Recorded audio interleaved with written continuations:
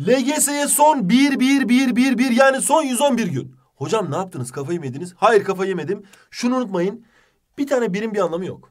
Buradaki birin de bir anlamı yok. Buradaki birinde bir anlamı yok. Tek bir tane bir. Ama bu üçü yan yana geldiği zaman ne oluyor? 111 oluyor. Yani birlikten kuvvet doğar. Birler bir araya geldiğinde 111 olur. Dolayısıyla siz de çalışmalarınızda arkadaşlarınızla beraber hareket ederseniz çok ciddi bir enerji oluşturabilirsiniz diyoruz. Saçma sapan bir espriyle başladık ama günün sözü çok güzel. Mevlana söylemiş. Demiş ki sıkıntılı zamanlarında sakın umudunu kesme. Tam da bizden bahsediyor değil mi?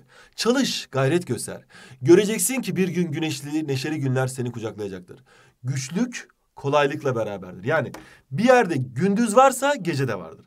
Ama gece varsa ertesi gün gündüz olacak. Dolayısıyla siz şu anda çalışıyorsunuz, sıkıntı çekiyorsunuz. Aman! Ama güzel günlerde bekliyoruz arkadaşlar. Geldik günün yorumu. 152 beğeni almış. Aybeniz Halis Gül. Hocam yine soruyorum. Neyi? Soruyu soruyor. Tabii ki defalarca yazmış. Vazgeçmemiş. Tebrikler Aybeniz. Bak yorum yazmakta nasıl vazgeçmiyorsa çalışmakta da vazgeçmemeli. Sizi görene kadar vazgeçmeyeceğim. Şu an denemelerde matematik hariç bütün dersleri mükemmel. Evet bütün öğrencilerimize yaşanan sıkıntı. Ama matematik çok kötü. Derste yeni nesil soru çözmediğimiz için işlemleri yapabiliyorum ama yeni nesil soruları yapamıyorum. Ne olur yardımcı olun artık. Kazanamayacakmışım gibime geliyor. Benim gibi olanlar artı birleyin demiş ve artı birlemişler. Şimdi birincisi matematikte soruların çözülememesi gerçekten genel bir sorun. Ama bunu halledebiliriz. Nasıl halledebiliriz? İlk başta konuyu bilmemiz lazım. Birinci adım konuyu bilmek. Konuyu ne kadar bileceğiz hocam? Hani size üstte bilgi veriyorlar ya sorularda. Önceden bir bilgi veriyor. 2 artı 2 eşittir 4'tür. Bunu bilinir diye bir bilgi veriyor. Sen o bilgiyi vermese bile, o formülü vermese bile çok önceden biliyor olman lazım. Bu bir. İkincisi soru çözmen lazım. Ama ilk başta hemen iki dakikada çözemeyebilirsin. Üç dakikada, dört dakikada çözebilirsin. İşte bu uzun sürede çözmeye de kendine alışacaksın. İlk başta diyeceksin ki ben yapamıyorum ama uzun sürede de olsa, on dakikada olsa, dokuz dakikada olsa, on bir dakikada olsa ben bu soruları çözeceğim. Ve Süreyi sonradan kısalacak bunu da unutma. Ve ilk başta Milli Eğitim Bakanlığı'nın örnek sorularına başlayacaksın. Yani şöyle örnek soruları yapabiliyorsan, LGS sorularını yapabiliyorsan sonradan X kaynağındaki, Y kaynağındaki aşırı zor soru. Mesela bizim zoru bankamızdaki sorular çok zor. Oradaki soruları yapamadığın zaman veya çok uzun sürede yaptığın zaman moralin bozulmaz. Niye? Çünkü ben örnek soruları yapabildim. Uzun sürede de olsa yapabildim.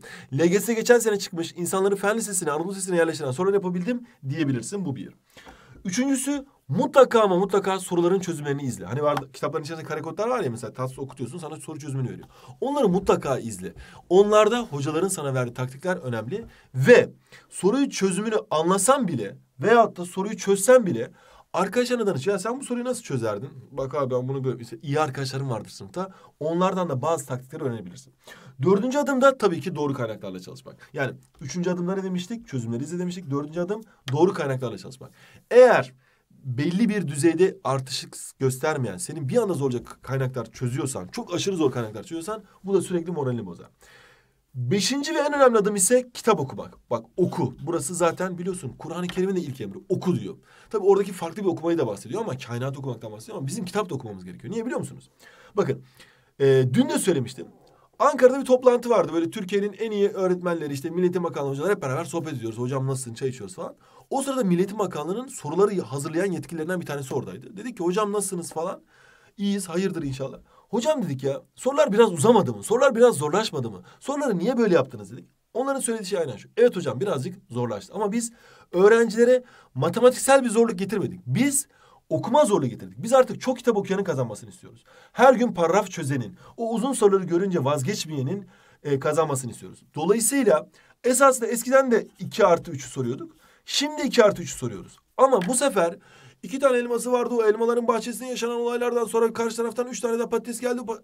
Esasında 2 artı 3'ü soruyoruz ama uzattık hocam. Öğrenci vazgeçmesin okusun. Çünkü Anadolu Lisesi'ne gittiğinde, Fen Lisesi'ne gittiğinde çok okuması gerekecek dediler. Dolayısıyla bol bol kitap okuyacağız, paragraf çözeceğiz ve böylece artık e, matematik ve uzun sorular bize kolay gelecek ve yapacağız. Dolayısıyla Aybeniz vazgeçmiyoruz ve kazana kadar okuyoruz. Geldik günün kitabına Cingöz Recai Peyami Safa'nın sıra dışı eseri Server Bedi adı, adıyla yayınlıyor aslında. Ama sonradan bu takma lakabı kaynaklar göstermiyorlar. Peyami Safa'nın çok değerli bir eseri. Polisiye bir roman. Okumanızı tavsiye ederiz. Eğer bu tarz şeyleri seviyorsanız sizin için güzel bir örnek.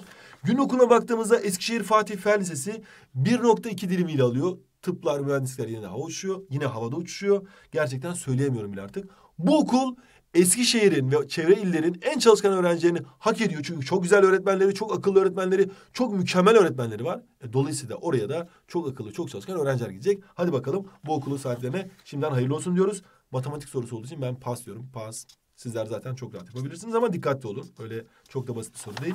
Ödülü sorumuzu yine yorumlarınızı süslemeye devam edin. Hepsini okuyoruz. En fazla like alanları tabii ki cevaplıyoruz. Diğerlerini mutlaka bir şekilde soruların içerisinde aynen bulunduğu için cevaplıyoruz. Ee, siz yorum yazmaya devam edin. Ders çalışmaya devam edin arkadaşlar. Başarı sizleri bekliyor.